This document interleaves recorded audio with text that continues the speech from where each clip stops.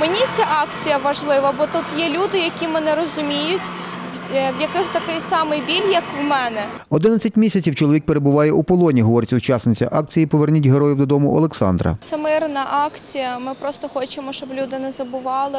Є дружина військовослужбовця, який знаходиться в полоні з травня місяця. Ми хочемо нагадати міжнародній спільноті і нашим людям.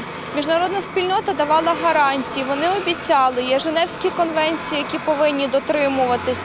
Ну не може в світі бути все безнакарано. Учасниця акції Надія каже, знає, як це, коли рідна людина перебуває у полоні. Чому я тут? Тому що в минулому в мене чоловік теж виходив з Азовсталі. Він перебував 4 місяці у полоні, був звільнений у великому обміні 21 вересня.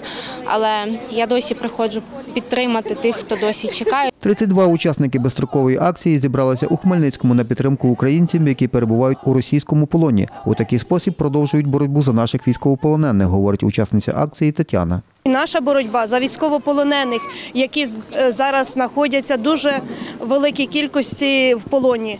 І Російська Федерація веде дуже ну надважкі, надважкі це перемовини, надважкі обміни. Мій син був в Оленівському баракові, і на даний момент ще 120 е, військовополонених, які були в Оленівському бараку, знаходяться в полоні.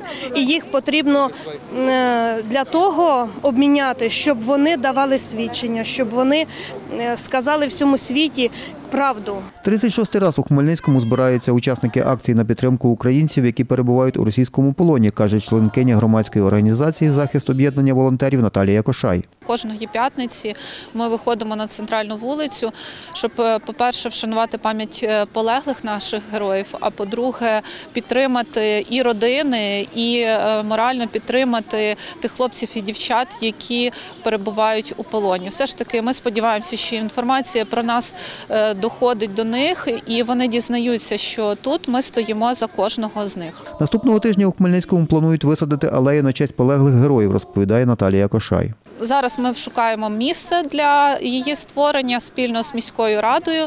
Ось і сподіваємося, вже наступного тижня ми е, висадимо дерева. Плануємо висадити магнолії як символ розквіту. Вони розцвітають одні з перших весною. Це буде розквіт не тільки природи, а й України. За словами Наталії Кошай, наступну акцію планують провести 21 квітня. Михайло Жила, Іван Мовчан, Суспільне новини, Хмельницький.